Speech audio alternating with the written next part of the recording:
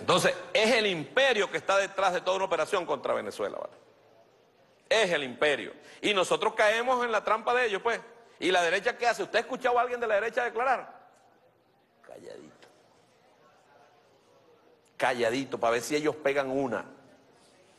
Si nosotros le hacemos el trabajo a ellos, ahí es donde se exige que los liderazgos demos la cara en la calle, en el estado, en el municipio, en la parroquia, en la calle, en todas partes.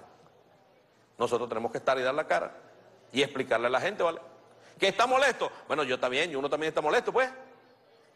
Uno está molesto que, que Portugal quedó entregando los perniles y no lo entregó porque, bueno, ellos se hicieron los, los asustados con Estados Unidos. Y se habían pagado y estaba toda la plata y el presidente firmó todo lo que tenía que firmar. No, no se encontró el banco por donde pagar.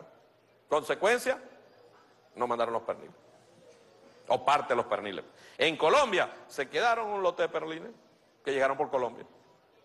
No los dejó salir su majestad santo.